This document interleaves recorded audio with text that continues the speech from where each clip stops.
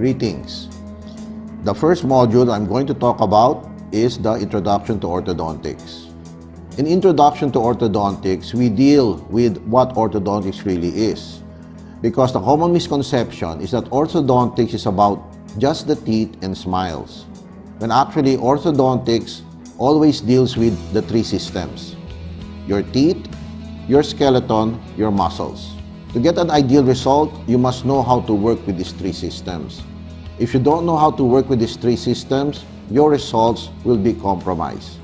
In this initial lecture, we'll be talking about the qualities of each of these structures.